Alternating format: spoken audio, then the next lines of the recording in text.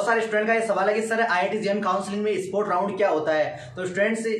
आई जेम काउंसलिंग के तीन रेगुलर राउंड होते हैं उनमें अगर कुछ सीटें खाली रह जाती है या फिर डॉक्यूमेंट वेरिफिकेशन के टाइम में स्टूडेंट्स की कुछ सीटें कैंसिल हो जाती है एडमिशन कैंसिल हो जाता है तो उस कंडीशन में कुछ सीटें खाली रह जाती है उन सीटों को दोबारा भरने के लिए स्पोर्ट राउंड किया जाता है अब वो स्पोर्ट राउंड केवल